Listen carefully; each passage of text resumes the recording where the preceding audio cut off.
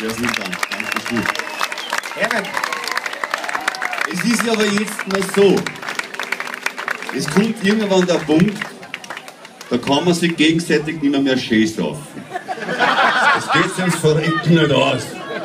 So viel Mühe kann man sich gar nicht geben, es geht einfach nicht. Was macht man dann? Ich bring mich um, ich hab genug. Die ganze Sterzollerei ist ein Betrug. Ich bring mich um, ich mach ein nur vorher schreibe ich noch ganz geschwind mein Testament. Mein Hirn, das kriegt die Polizei. Weil die hat eh keins und die nimmt es sicher gleich. Mein Körper schenke ich Medizin.